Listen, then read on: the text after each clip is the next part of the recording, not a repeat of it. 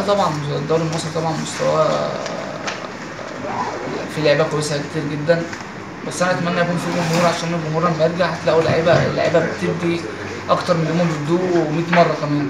عشان الجمهور أنا لعبت قدام جمهور وما لعبتش قدام جمهور ففي فرق كبير جدا. لما كنت صغير كنت أتفرج على الجمهور ما بتفرجش على الماتش بتفرج على الجمهور اللي بيعمل اللعيبة كلها ربنا يكرمهم ويديلهم فرصة يحترفوا. بس أهم حاجة بس اللي بيحترف ويسافر لازم يستحمل.